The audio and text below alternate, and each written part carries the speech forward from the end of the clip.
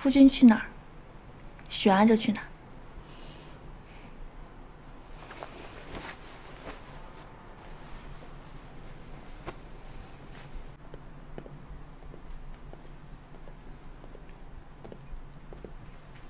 轩儿，你没事吧？没事。如今轩儿大仇已报，柳贵妃也下了狱，你就不要想那些事情了。明明我已经为母亲报了仇，却总还是能想起这二十年来这些点点滴滴。养育我的人，竟然是我的杀母仇人。我实在是不知道。我是该开心还是该难过？轩儿，你要记住，柳贵妃她养你，大抵是因为想赎罪。无论她做过什么，都抹不掉她的罪过。灵儿，这次多亏了你。其实还是要谢谢国师，他又帮我们一次。是，国师是一个胸有大义之人。轩儿，你知道吗？我是羡慕你，羡慕你能从曾经的苦痛中走出来。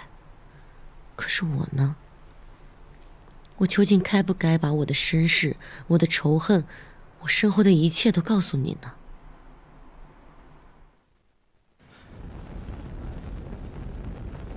此次抓获真凶柳贵妃，真是多亏了国师的帮助。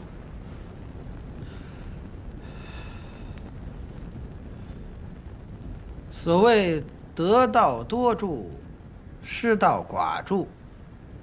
柳贵妃行恶作乱，这是她罪有应得。燕王忠勇果敢，有德之人，上天自会保佑。国师，改日若有机会，我们夫妻二人也希望您能来府上一聚，以表谢意。那贫道。在此就谢过二位的美意。贫道还有丹药要炼，就不送二位了。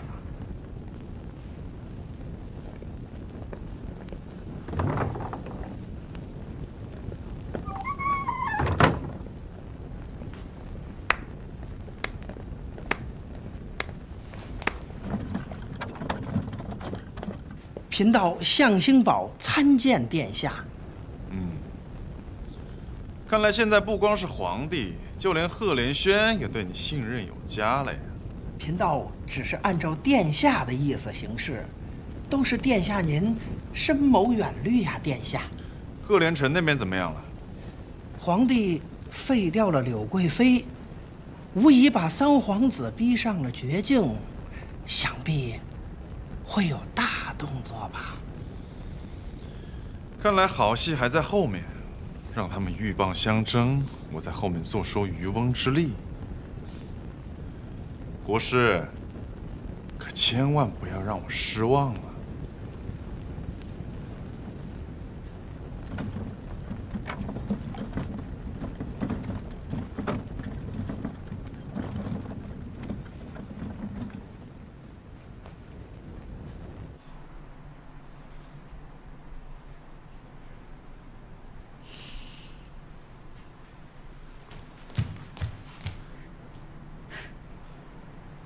是我的大限到了吗？母妃，晨儿，阿晨来迟了。晨儿，让娘再好好看看你，晨儿。母妃，啊！母妃，谁干的？我要去杀了他。万万不可哟！这 娘这一辈子已经交代在这儿了，娘不希望你再去重蹈覆辙呀，晨儿。母妃，是儿臣无能，让赫连轩和冷离得逞，只要还有一丝希望，我一定让他们加倍奉还。晨儿，不要再争了，都是娘的错。当初为了让你得到太子的位置，娘做了太多的坏事，现在想想后悔莫及。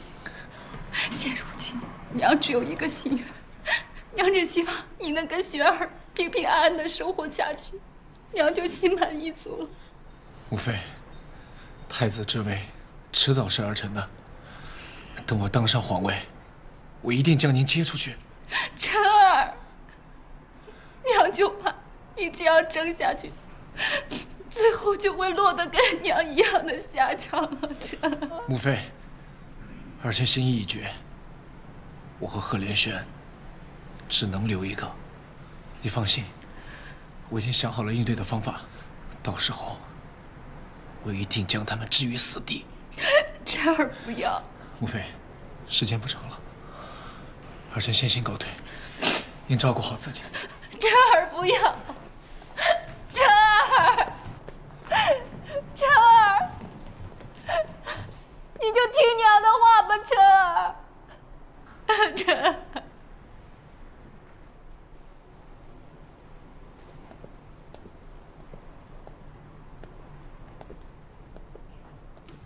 成，不要难过了，早些休息吧。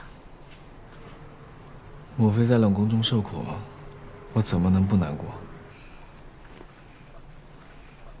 成，你还有我，不管发生什么事儿，雪儿都会在你旁边，不离不弃。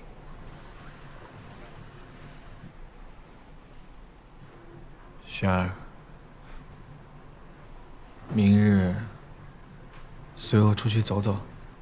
嗯，夫君去哪儿，雪儿就去哪儿。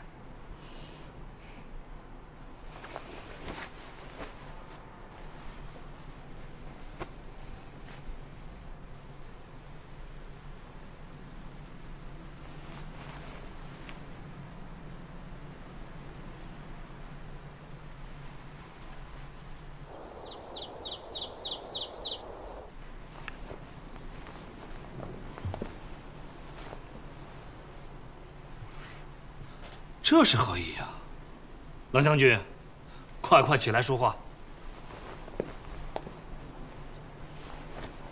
陛下，老臣征战杀伐数十载，如今年事已高，是时候卸甲归田，将重任交予下一辈了。这，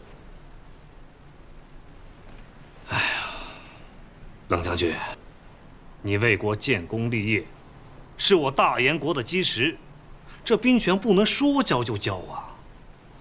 要交，也得等挑选出合适的人选以后再说也不迟嘛。